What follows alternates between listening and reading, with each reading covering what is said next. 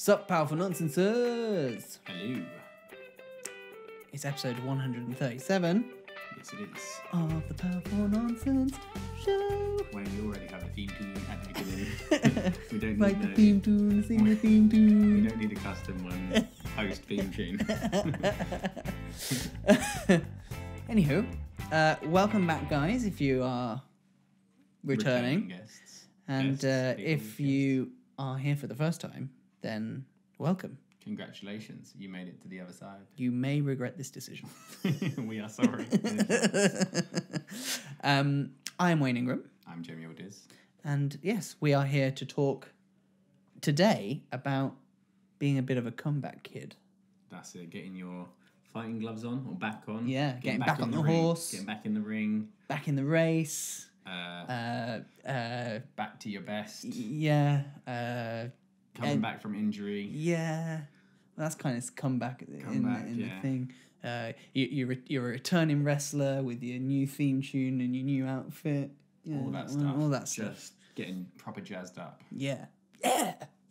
So I think this is going to be a really good episode. I've got a lot to talk about with this one, I think. Because I feel like I might be tooting my own horn here. Toot, toot. when you never toot your own horn. This is so unlike you. I know. Why? So out of I know, right? I mean, it's just. Modest mouse over here. I mean, I just woke up on another side of the bed today. I just. I'm surprised you woke up to be honest. So. yeah, me too.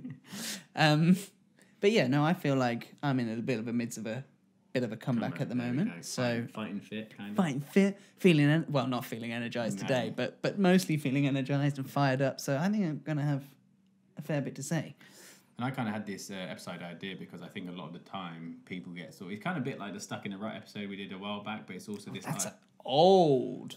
it is an old episode. That is old. But it's also that idea that I think a lot of the time people over time are the the sort of energy or the motivation is beaten out of them Mm. over it takes like years it starts with like a little thing but over time like they say like a hairline fracture can become like a massive crater Yeah. and I think a lot of the time people have had the the faith the motivation just beaten out of them whether it's just getting stuck into the day to day or it's kind of getting to that point where you're just like you know what I'm just not myself anymore I've let myself go I've given up. I'm just not feeling it anymore. I don't know what's happened. I mean, my dad's been saying it for years to me. He's just like, just don't have the same energy I used to have. And it's that Uh-huh. idea that there's a lot of things that are going on in your life that have kind of got you to that point. But Yeah. then it's kind of like you've got to kind of treat it like a, uh, say, like a sports star who has actually Right. lost their kind of streak. Yeah, lost their streak, or they've got an injury. They've been knocked out of the game. Tell you what, like I am always I'm a big wrestling fan.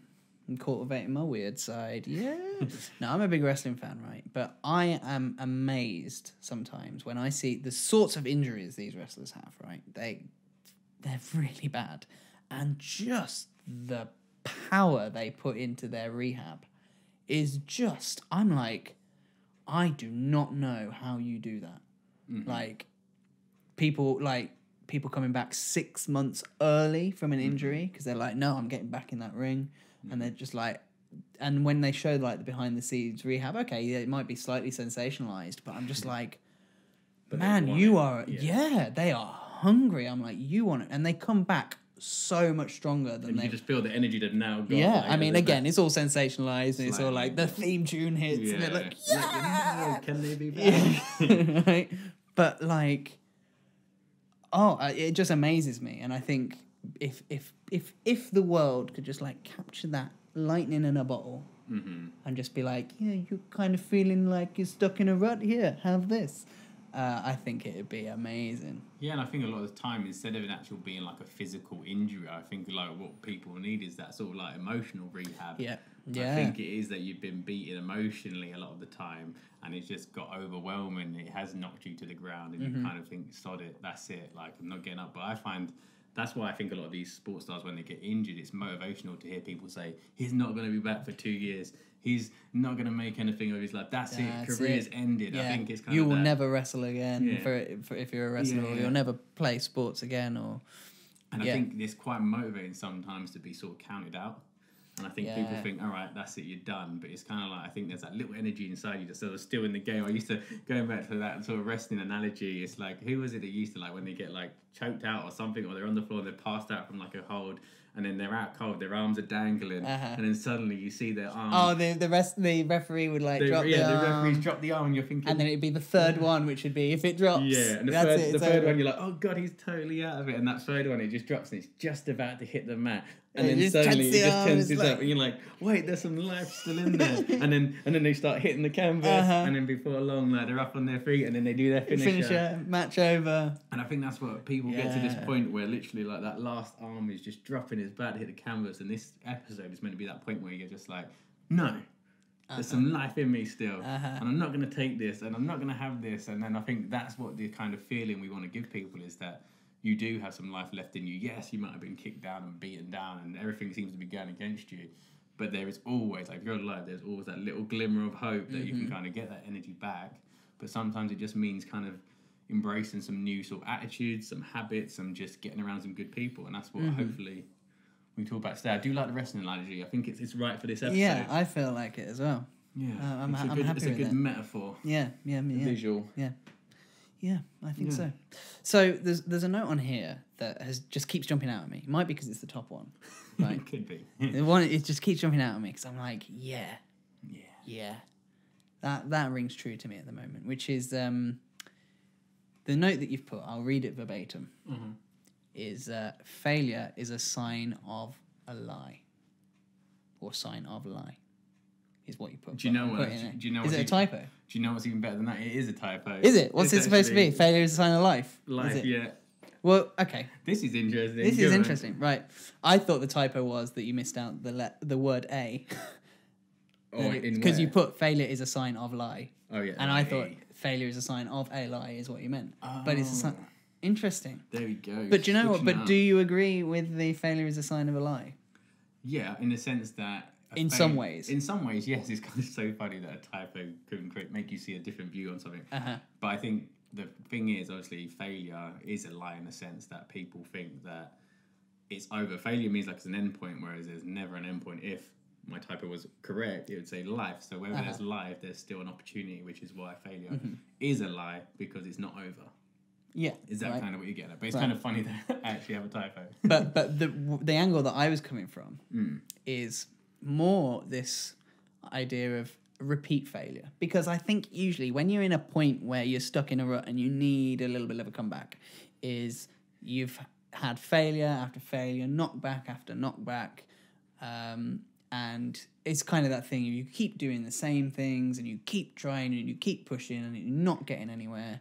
And if you're getting that repeat failure the thing that jumped out at me was the fact that the lie is what you are trying to convince yourself is the right course of action Yeah, because of- you're you're repeatedly doing the wrong thing yeah, I and it. because you're repeatedly failing it's basically the lie is you're doing it wrong yeah, yeah, yeah. you need to change your game Yeah, I was listening to Wayne Dyer yesterday, and he had this ana- analogy of this lady who said that like it was like the different seasons of life, and she said on that first, the first part of my life, I walked down the street and I fell down the hole, and then she talked about the second. Mm-hmm. it's like time. me walking through life to I, be I, honest I walked down the street and I saw the hole and I still fell down it. Uh-huh. The second time I knew the hole was there and I and I don't know the way he says it is that Mm-hmm. you basically keep like you said there you kind of repeat the same behaviors hoping that you're going to get a different result and the end point of that kind of uh, analogy that he's saying was instead of walking down that street that has the hole I just went down a different street yeah yeah people, Yeah, people just keep doing the same exactly. thing I think that's kind of what you're getting at there. Exactly, and that's. Uh, I mean, I'm I'm having a multi-stranded comeback at the moment. I feel. I don't know if you would agree with that, Cem, but I kind of feel like everything's kind of slotting into place, and I've kind of had this fire reignite because of multiple facets of life have kind of come at me at the same time, and I've changed. I've changed things up. I've changed the way I've looked at things. I've changed the way I've approached things, and um, that has just the energy that I've got from just going, do you know what? What I've been doing hasn't been working. And okay, yes, it makes me feel uncomfortable to do it differently because I've got into that groove of doing things a certain way. Mm-hmm. The the the idea of potential opportunity that has come from just changing the tactic has been so invigorating. Mm-hmm. Whether or not what I'm doing now is the right thing, I don't know. That will that remains to be seen. But the fact that I have changed the way I'm looking at things, and I've suddenly gone, this could actually play out completely differently, and I don't know where it's going, and I've just embraced that mm-hmm. kind of uncertainty. I've, I've embraced it rather than kind of going, oh, I don't know if this is going to work. It doesn't work before because I'm going, well, I haven't tried it before, Yeah. so it could work, and it could work really well. That's exciting. But that's why I think there's two types of a failure. There's that failure because of repeated behaviours, which is just going to get the same results before. But then I think there's, which is the main point of that, I think is failure is a sign of life. I think life is constantly changing. Now you're taking a different path. Failure is going to be inevitable in some way. Oh, absolutely, And yeah. so you're just failing in a different way, but eventually you're failing towards the right way. Mm-hmm. And, and I think that's why it's, yeah, there's a two difference in the type of failures you kind of experience. Mm-hmm. Mm, but yeah, next time I should probably check that I don't leave typ- typos in our. yeah, but it was a good. It was a good typo. It was, it it was was for a a reason. Fortunate typo. It was there. Um, I think the other thing to bear in mind, though, and this is kind of something that I have come to accept, although sometimes begrudgingly, um, is that um, excuse me, uh, is that whether whether we like it or not, life is very cyclical. It's very much about spinning lots of plates at the same time and making sure that you're looking after all aspects of your life. Because the moment you start going, oh, my career's going really well, I'm earning lots of money, you start focusing on the money, and then sometimes you go, well, actually, if I work more, then I can make more money, and then so you your relationships start to dwindle because you're not looking after them, and so then something will go wrong there, and then sometimes in trying to juggle all these various aspects, you actually all of them come crashing down because you can't manage all of them. So what I'm saying is like don't always you, you always have to have the expe- expectation that something's going to go wrong. I think I might have brought this up on an episode a few months ago. Uh, where oh did I or was it in a private conversation with you? There's this idea a friend of mine said there's this idea where you can assume and I think people that are stuck in a rut and need a comeback are in this mindset. You assume everything's kind of crap and then you have your blip, which is the good stuff that happens, and that's a short, short, brief thing, and then it all goes back to oh, this is crap. Um, or the alternative mind, the alternative mindset is to say, well, actually, no, everything's always great. The bad stuff's the blip, Mm. and I think if you can change that mindset, it, which is very difficult to do when you're in the midst of being stuck in a rut, I know. Um, but I think sometimes all it takes is just that catalyst to go, actually, yeah, actually everything's really freaking good. And I just kind of need to ride that wave of goodness for as long as I can. And don't worry if something comes along and don't go into a state of despair or like, oh, it's all going to go to shit. Because that's when you get yourself back stuck in a rut again. Yeah, I get what you're saying there, and I think yeah, when it comes to sort of like a uh, a comeback though, I think it's more because I don't think everyone should always feel that everything just. I mean, people are unconsciously unconscious of the fact that there are a lot of good things, and like you say, the the great things stand out more, and the thing and the uh, bad things kind of like beat you down more. Whereas I guess a lot of the philosophers say that you should kind of keep on a level, nothing's good or bad. Yeah, true. Makes it so, or whatever they Yeah, say. true. But um, on that, I just think like with a comeback though, I think it's not. I don't know. I think it's sort of a, a mindset of being willing to kind of just go for it. I don't know. It's kind of Well, a comeback is a lot more holistic.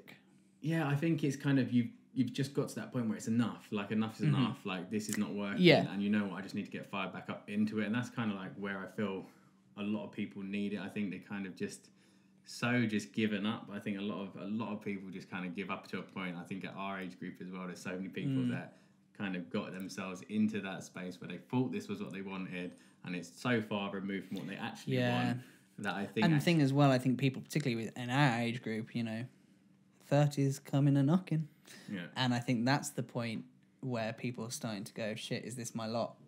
yeah, Which really is horrendous to think. horrendous to think because actually, people that are in their fifties will be like, "You still got ages." you got more years to come.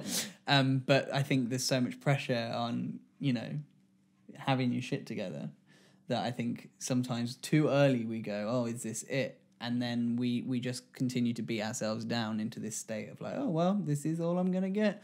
And so we kind of we almost if we're talking about lighting up a fire inside of you, we almost kind of like starve that fire of oxygen because we kind of go, oh well, this is it, as mm-hmm. opposed to like, oh what what really gets me excited. Yeah, well, I think like having that sort of youth on your side, I think you've got that. I think it's like great when people can see at this age that they've got the opportunity to change things again. Mm-hmm. But I do think you kind of go through that thing where you, especially towards the late twenties, that you kind of get yourself into a solid. Then you think, yes, I'm adulting I've- really well. I've sussed it all out. Yeah. I've worked out life. yeah, you're adulting, and then suddenly things aren't working out as you plan. But then you've still got a lot of that energy to be like, oh, actually, no, I can. Your greatest comeback is getting back to what you actually know you value, but you've Mm-hmm. kind of been pulled away from it a lot. Yeah, definitely. But, um, yeah. So I think we should take a break. Do you know, it's really hard where this is positioned because I can't see the notes at all. so my mic is blocking off. You but just have to pop your head round. just be like, oh, okay, yeah, yeah, yeah, yeah. But yeah, we'll let Cem take a look at the notes and we'll take a break. So we'll be back. So we thought we'd just take a few seconds just to say thank you to our sponsor, yep. University of Northampton. Huge thank you to them for supporting the show. Um, so why should you check them out? Well, first of all, we're We alumni. We yes. went there, so everything that we kind of deliver to you it kind of comes from them in a way. Um, but also, they're not just about getting a degree. The thing we love about Northampton Uni from experience is the fact that you come out of your course with your degree, but also there's so many options on the table. They understand that it's not just about going out and getting a job anymore, it's also about the possibility of setting up your own business and becoming an entrepreneur. And to top that off, it's not just about setting up a business, it's about setting up a social enterprise. That's their specialist area. So if you're thinking of setting up a business, it can also be one that's doing good to the world and delivering social impact. So check them out, northampton.ac.uk, and huge thank you to them for supporting the show. Welcome back. Hello. You've you came back. Come back. Get it. Came back, come back. Anyway. Oh, Wayne. Uh, so now the dad jokes out the way. Um, yeah, so we're talking about manifesting your greatest comeback. Mhm. Um, we were talking about something during the break, um, which I think is this, which we touched on in the first half, but I think good worth revisiting, is this idea that uh, if you sometimes to have your comeback, it really takes you to really be in like pretty much undefeated in a way. It you've got to the point where a to use the wrestling analogy, as you said, you've tapped out. yeah. You've tapped out. You've been pinned to the ground, Done. and y- you know you're at a point where it's like, ah, my career's over. It's done. I'm done. Or this is life. Or it. or Yeah. rather, everybody else is going, mate, you done. yeah, I think it's true. I think you, people only get fired up by that comeback if you generally think you're at rock bottom, and I think that is. Bottom. Nice, nice. I know it, is, it is that tipping point. I'm just going to throw in as many finishes in like one line of quotes, but um, no, Sorry. no. I'm actually trying to think of one, but no. But no, it's that idea that you have reached enough of the tipping point that you know what you've hit rock bottom, so now it, that's it. You're mm-hmm. the only way is up ultimately from there because you were at the lowest point. and I think that is the moment that I think people get really, really fired up. But I mm-hmm. think you have to, when you're going for that comeback, you've got to really, really, really want it. You can't Yeah. just like kind of want it. It needs to be something that that's it. This is enough. I'm making a change. Yeah. And I think it's annoying that for humans, like they can sustain so much pain, or they can sustain it so long, or our brains adapt so well that they kind of like even trick us into thinking, okay, this is not as bad as it actually is. But over time, you were just taking so much shit, or you're just like, this is enough. It's the it's it's a kind it's kind of the reverse of the well it's not the reverse of it it's, it's the negative side of the compound effect Mm-hmm. Uh, with the compound effect being you know if you do a small good habit uh, every day for the rest of your life eventually it will compound something's and you'll have some massive uh, um, return on whatever that habit is even if it's just like doing 10 press ups every morning for as soon as you get out of bed or, or whatever. Ultimately that's going to have an effect but in the same respect the negative things like the oh do you know what?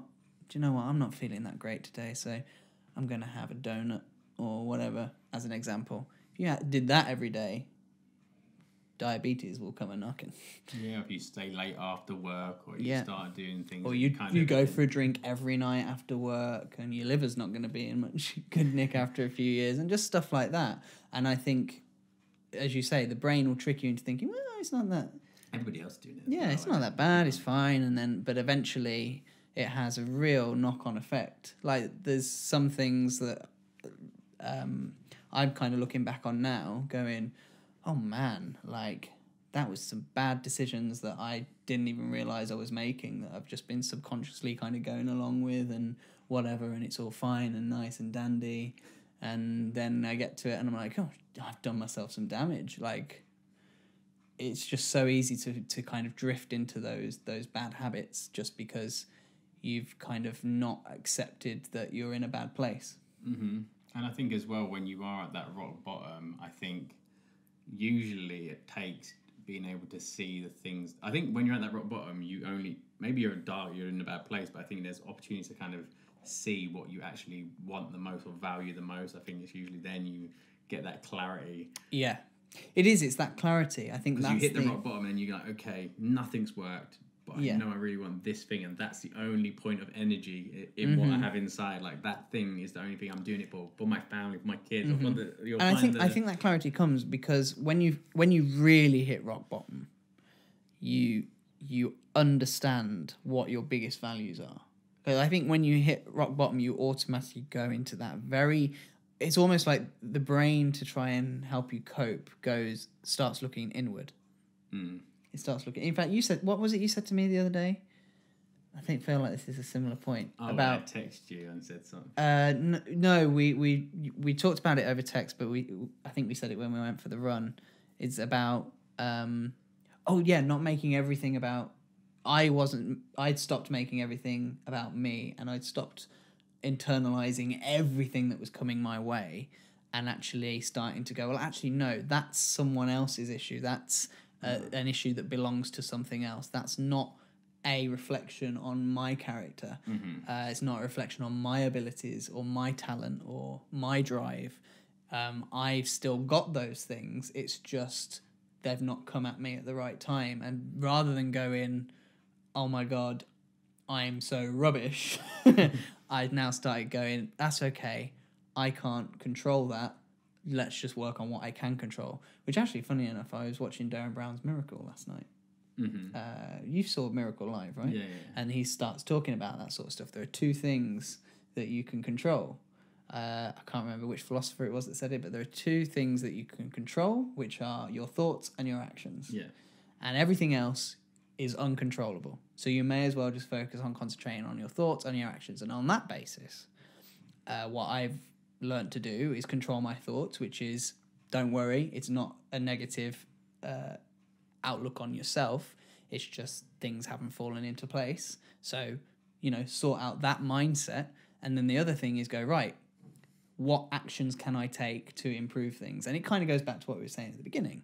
If you keep doing the same thing in the same way all the time, you're not actually taking control of your actions, really. You're externalizing it and going, well, I'm doing everything right. So it's everybody else is doing everything wrong. And if that might be the case, but if you continue to do those same actions and you're getting the same results, then you one should assume that actually you need to change up your actions and probably your thoughts as well. And it kind of goes back. We've done a blog post before on like post traumatic growth. It is once you're at that bottom level, you sort of take off the the jacket of all the BS, all the kind of surface level stuff, mm-hmm. and then it's like those people who are in like car crashes and are now made like uh, disabled or something's gone Yeah. totally wrong. That suddenly they're at that rock bottom point in bed, injured. Life's gonna be life's gonna be completely different. But at that moment, the value comes back of what they actually care about, and suddenly the energy. These people become more motivated in their disabled form than they ever were in their abled form. Yeah. And it's kind of that. I think when you hit that rock bottom, that's it. You just let off everything, and it's kind of like a release. But it's Yeah. quite sad that it's upsetting that people have to get It sometimes to to that, that- point That point. because it is available to you at any moment. It's just being able to, and I think it kind of goes back to that idea of uh, Marcus Aurelius saying meditate on death. It's that idea if you can put yourself in the position of rock bottom, which is death. Yeah. I think then you get the clarity from that of what really matters, and then Mm-hmm. that gives you the hope in some ways. But I think yeah, if you are if you are wanting to come back, you kind of have to really take that time to delve in. And Yeah. I think maybe maybe you've not hit the point where you've fucked up enough, or maybe you've not hit that tipping point yet. Yeah. But it doesn't have to go deeper. It doesn't have to wait till you've ruined your relationship. It doesn't have to wait till you got fired from your job or- or yeah. whatever else. It's a it's a moment that's available there at any point. but your comeback is being in a state where you're just driven, you're fired up, you're taking the right actions, not the same actions, and getting the same results. Yeah. It's um, like you say, it's those habits which are really, really, really important. I think anybody that you look at who's successful, they're going to have these really positive habits, like someone who's on a comeback, like a constant comeback. And I think Yeah.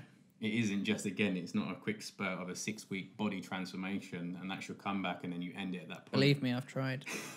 you've got to be on a you've got to be on a, like a 24/7 comeback like Yeah. everything is developing to you to get to your be- to be your best person Yeah.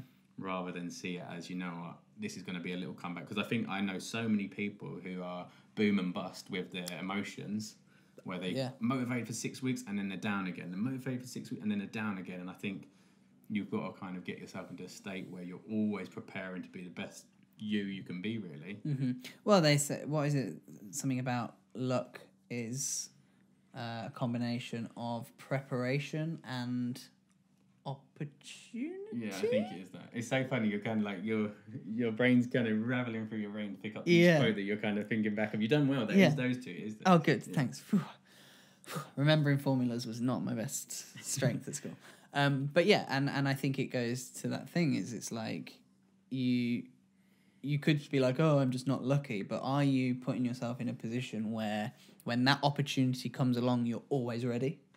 hmm That's a mistake I've made so many times. Is opportunities come along and I've not been quite ready, um, and, and I and I think that's always something really important to assess. And I think as well, like one thing that I think can really hold you in good stead, particularly if you are just about to enter a comeback, is just own those scars. Like just own them. Mm-hmm. Like acknowledge the fact that maybe you fucked up or maybe somebody fucked you over or whatever, but just kind of go, yeah, that happened. Mm-hmm. And yeah, that has shaped me. But you know what? Like, uh, just firing me up just thinking about it already. But like, but you know what? I'm going to take that and I'm going to use that. Mm-hmm. It's the same thing as like with stress. You can either get really stressed out and and use it as a negative, or you can just go, yeah, this is my body preparing me for something that I'm going to have to be ready for and embracing it. And I think if you go, yeah, p- few people screwed me over, I screwed myself over, but you know what? I won't make that same mistake again. That's just much better position to be in than the the plum effect, the poor mm. little old me. I'm like, oh, everybody keeps doing me wrong, and I can't get anything right, and that's just gonna send you into a downward spiral. Believe me, I know. And I think a good point, sort of, I mean, you're coming to the end of the episode, and I think a really good quote to sort of sum up what you said there, but also just kind of have something to think about is what Eric Thomas says. He's like, You're already in pain, you might as well get a reward from it.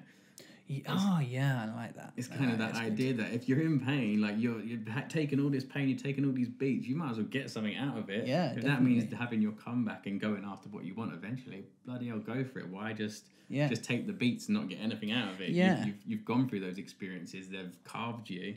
And I think it's that question of where you where something crap comes along. Okay, give yourself the moment to go, oh, this is crap, and then go to yourself, okay, what does what opportunities does this now allow? Which is what I did recently, which I think is why I'm on this comeback. I've suddenly gone, do you know what?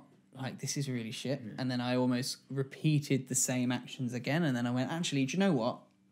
I felt so crap about this for so long, like I'm just going to use it as an opportunity to change my tact hmm and I feel so much better for it in every way. And I think you'll find people who are really successful in anything they do, they accept a bad situation, but they instantly go looking for that reward. Yeah. Like, okay, this is bad, but there's something good in it somewhere. Yeah. And I think the quicker you can get to that point, it's not avoiding what's bad, it's just saying, okay, that's bad, but again, goes back to um, what you can control and in your actions. Mm-hmm. Like, it goes back to that point. You just look at the situation from those two perspectives, and then that's enough, and then you can get back on the horse, take the action, get the positiveness out of it, because everything is going to develop you in some way. Yeah, exactly.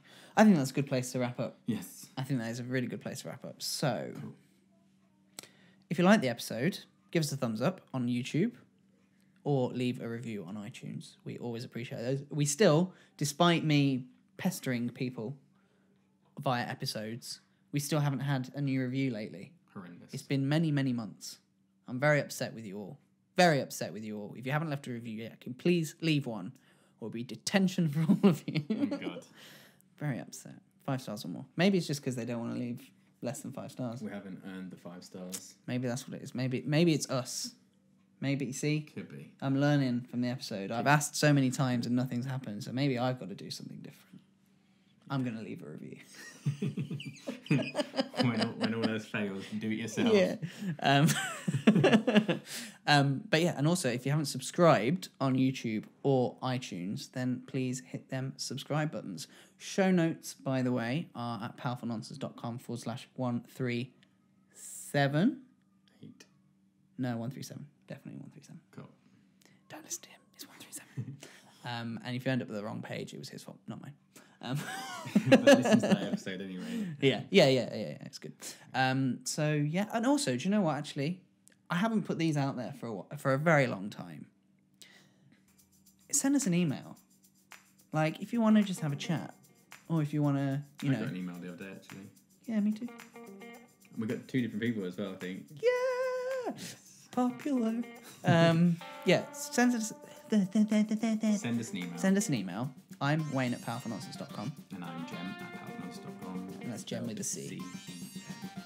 C. Yeah. Cool. That's enough of us. Yes, that's enough of us. So thanks very much, guys, and we'll catch you next time. See you later.